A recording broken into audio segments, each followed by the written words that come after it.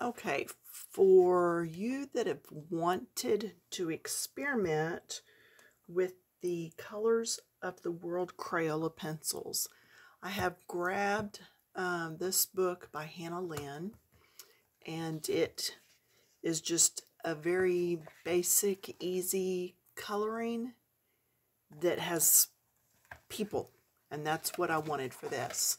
So I am going to set myself down. So I forget exactly who it was that wanted me to do people. Um, I think it was Gladys, but maybe not. So anyway, whoever that was, we're going to do some people with these pencils. All right. First of all, I did do some swatches of each color. So, and you can see I put those in the wrong order. But anyway, just some very basic swatches. These are current at my Walmart, so hopefully they're current for you too. So what I do is I can look at these swatches and I can think, okay, for instance, Red Riding Hood. We know she's a younger girl, so she might have lighter skin, but at the same time, she's also out and about a lot, so she might have the more medium colored skin. So I'm going to go with this one. And the thing you can remember when you're coloring is you can mix these back and forth, but this just shows you the color order that they're made in. If you want darker skin, you can use just the darker shades. If you want light, go to the lighter shades. You can mix and match and everything. So I am actually, and I'm actually going to use some of these pinks in this one. So let's get started. And I always forget to bring back an eraser. So let's just grab one from over here. Now, the reason for the eraser is the way I do cheeks, the little blush on the cheeks. I am going to go in to, I'm going to go with the darker one, okay? So that is going to be medium deep rose. And I am going to put her cheeks in. Now, as I do this, I am going to go ahead and color this pretty deep. You see there? And then fade it out. All right, I'm sorry, I'm trying to stay out of the view of the camera because that's something that irritates me when I watch videos of people painting or scrapbooking or whatever. Okay, so I'm going to be pretty firm at first and then lighter as I come out. Now, you can color right over the top of this, but what I've gotten in the habit of doing is erasing it because this is going to stain my paper. Okay? So now I'm going to erase.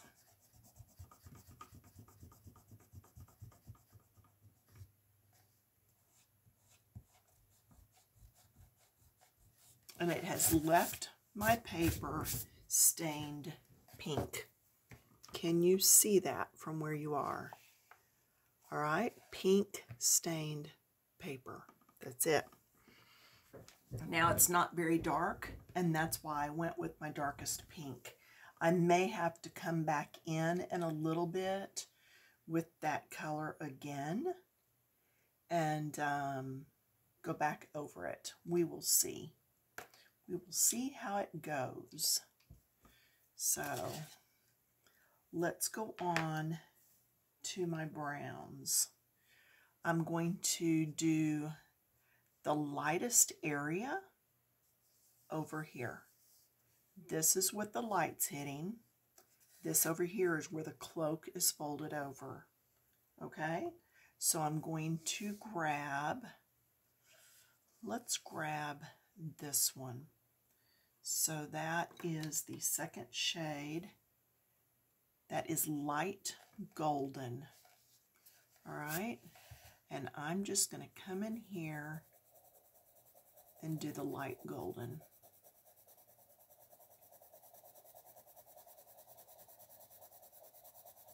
Just getting that color on here.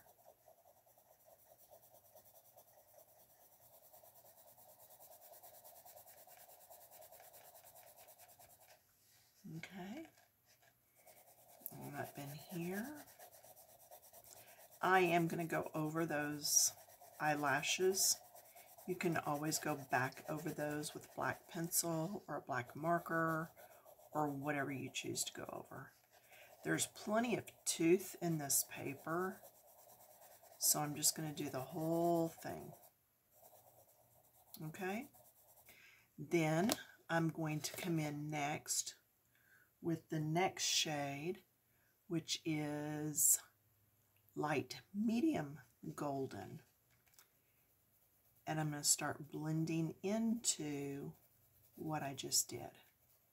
So I'm going to go around the edges and then fade into it.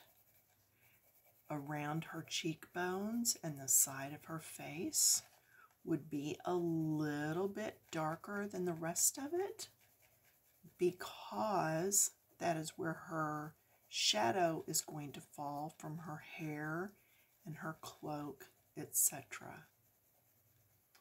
So I'm going to go around that part.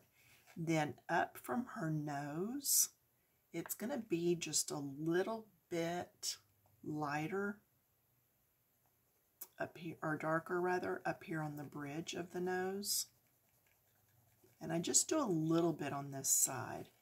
And then on this side, it's going to be even a little bit darker.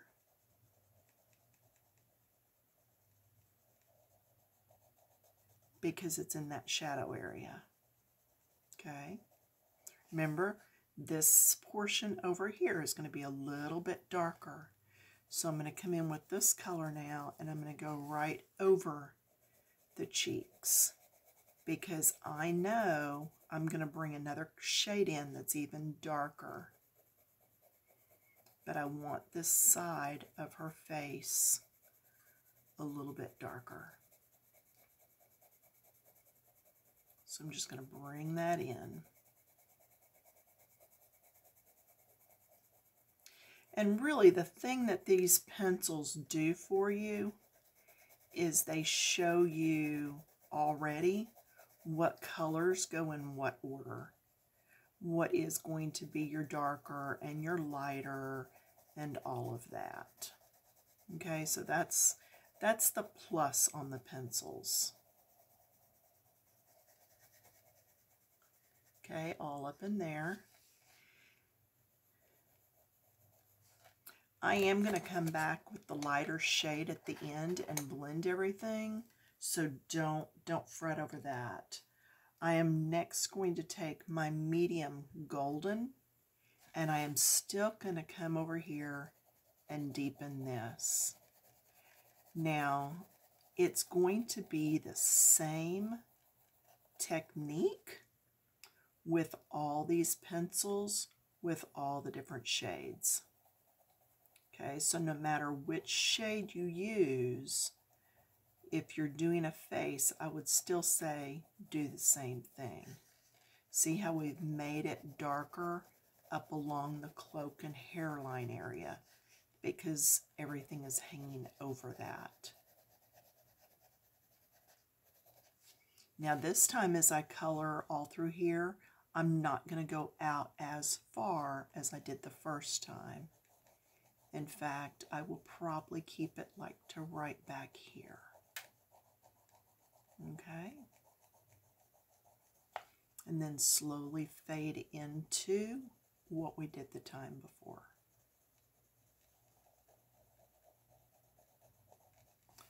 Then I'm going to get the next shade, which is medium deep golden. And I'm going to come up here and do this innermost area that's hiding right under the edge of her cloak. Same thing, get it in up here, up here at the top. Maybe over here just a little bit, just to kind of help bring the eye around. Okay? Is that making sense to you? I hope so. All right, then I'm going to go one more darker. This is the deep golden. And I'm going to really, really bear down and get that dark. And see, I didn't go out very far with those colors. I kept them just really right there. In those three spots, just right where they're really tucked up underneath. Okay, I am going to come back now with um, one of my reds, not red, pink. So I am coming in with the, I'm going to do the medium dark rose. Is that it? Yeah, medium deep rose. And I'm going to come back in and pink up her cheek a little just because I've put so many layers on that the pinkness is gone. Now I'm going to get lighter and lighter as I come out because I still just want that hint of pink on her cheek. Same thing over here. Now did you notice I was holding like this? I scooched back on my pencil some so I'm not putting as much pressure on the paper. And you might find with whatever skin tone you're doing that um, maybe you're going light enough that you don't have to go back and do the pink again. There's a lot of times when I'm using like my Prismacolors, depending on what paper I'm on, that it might really stain it and that I really don't need to come back and do a lot to it. Now I'm going to come in with this rose color. This is dark rose. Actually, it's called deep rose. And I'm going to go right up here. And it doesn't really look real pink. It was just enough to just add just a little bit in there. Okay? Now I'm going to come with my lightest shade once again and just finish blending all of this out. This is that lightest shade, the light golden. Oh, it's light golden, not very light golden. So that's all right, light golden. But I'm using this as a blender to blend those colors. you can see it is blending pretty good, even though these are just Crayola. The thing here is Crayola has given you different shades of browns and the pinks so that you can be set up with your colors and not really have to go and hunt and figure out what colors could go good next to each other. There's a lot of tooth in this paper, so I'm really trying to work that tooth out.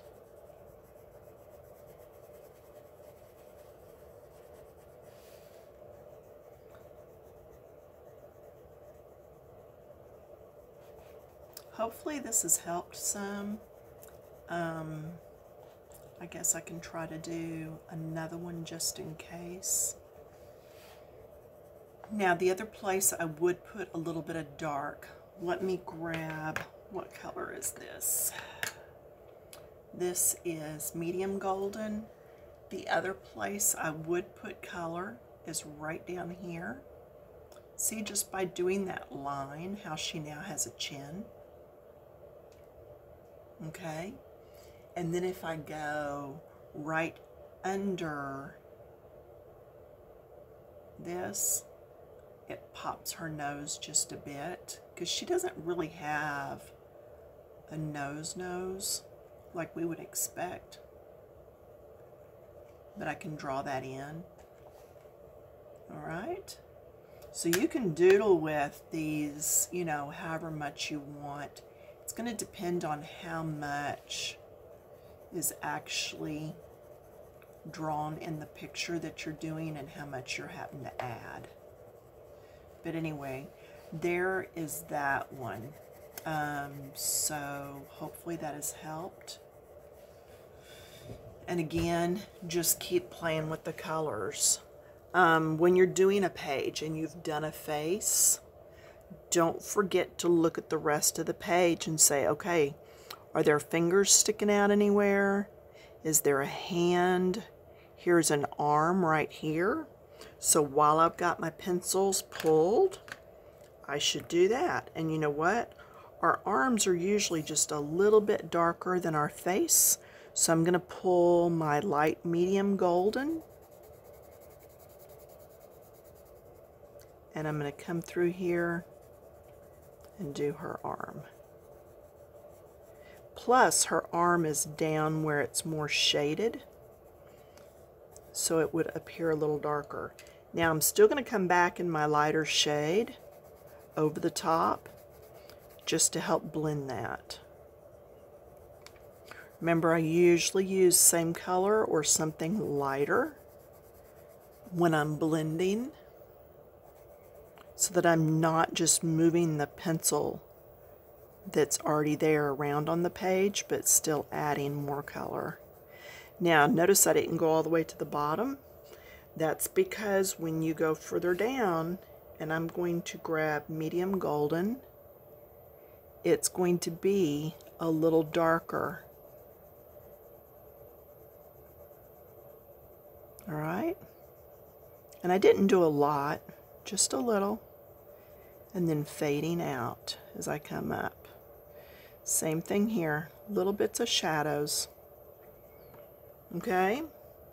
So then look and see, okay, is there anything else? And that's the only thing I'm seeing.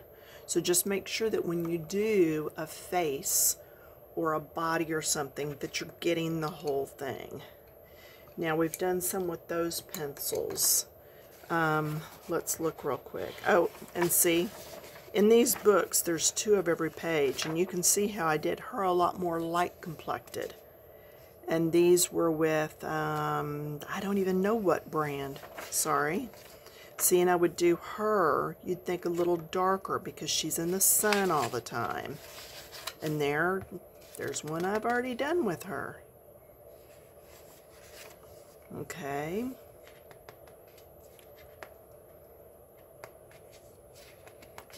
Can't get hold of the pages. Nope, didn't do her the children. Did I do that one? I did.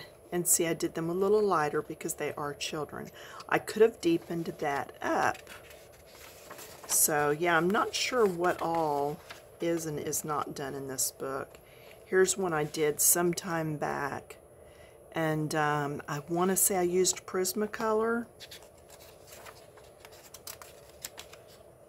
Let's go ahead and do that one real quick let's grab some darker shades. So I am going to grab this time the Almond series. Okay. Let's just grab the almond. And I am going to get, I'm just picking some pencils real quick. I am going to start with the deep almond. I wonder if that's going to be too dark. Let me start with medium almond. Okay, that's going to be this one right here. So I'm going to, and I'm not even going to do the cheeks first because we already know that with this paper, it didn't make that much difference. So I'm going to lay down my layer. Get all of this laid down.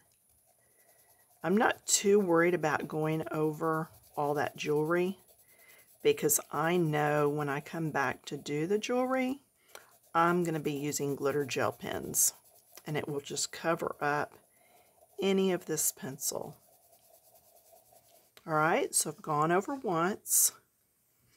Then I'm going to pick the next shade is medium deep almond. So I'm going to come and look, okay, what is where? Now this time she's straight on, so I'm going to be a little darker on both sides. And that chin so that it looks like it's a little rounded underneath. Fade out as you come in. Right under that bottom lip under the nose, maybe up one side for the nose. Let's come up around the hairline.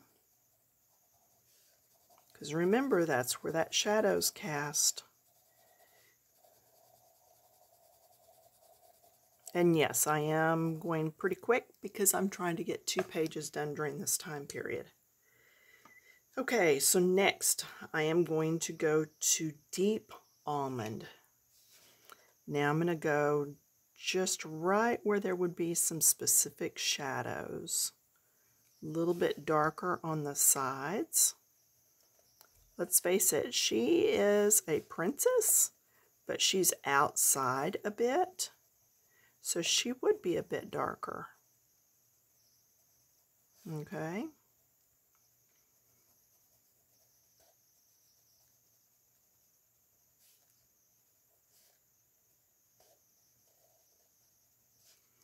All right, then I'm going to go ahead and pick the darkest. Actually, I'm not going to go the very darkest. I'm going to go very deep almond. I'm not going to go the absolute darkest. But right there. And then down here.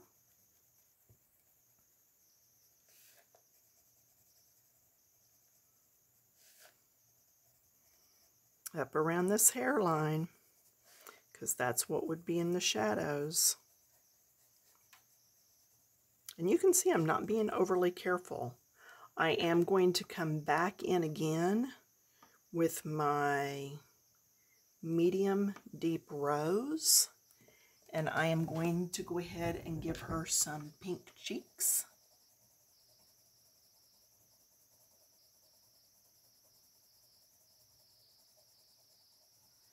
I think our princesses should all be happy and have deep pink cheeks. yeah, this one I should have done a little better. I didn't do very well blending that out. My pencil actually had something scratchy on it and therefore scratched into my paper a bit. Then I'm going to come back with the lightest shade that I've used, my medium almond.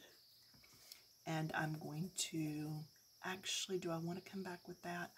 I'm gonna yeah I am. It's going to look like a darker color but it really is the lightest shade that I used earlier so you should be able to tell a little bit of difference as I'm blending these I could have come back with a lighter shade so you decide, you know, when you're doing something like this, do you want to come back with a lighter shade or with the same shade you were using? And you can see here, see the lines there? The paper is being a little streaky for me on this one. So it's the nature of Crayola and the nature of the paper too, admittedly.